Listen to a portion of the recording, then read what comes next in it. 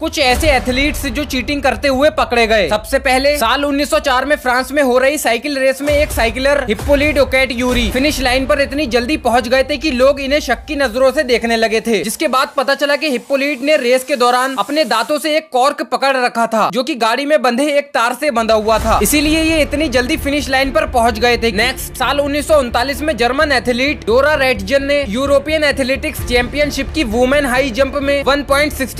metre ऊंची jump लगाकर एक वर्ल्ड रिकॉर्ड बना दिया था लेकिन उसके कुछ समय बाद पता चला की डोरा लड़की नहीं बल्कि एक लड़का था जो लड़की बनकर वुमेन हाई जंप में उछल कूद कर रहा था नेक्स्ट रेस जीतने के लिए कई एथलीट्स ड्रग्स का सहारा लेते हैं कुछ ऐसा ही हुआ था साल आठ में हुई बेजिंग ओलंपिक गेम्स में जिसके पार्टिसिपेटर टॉनी हैंसन ने ड्रग्स खुद नहीं लिया था बल्कि गेम के दौरान अपने घोड़े को ही ड्रग्स दे दिया था और तो और इन्होंने ब्रोंज मेडल भी जीत लिया था लेकिन जब इनकी करतूत का पता चला तो इनसे मेडल छीन लिया गया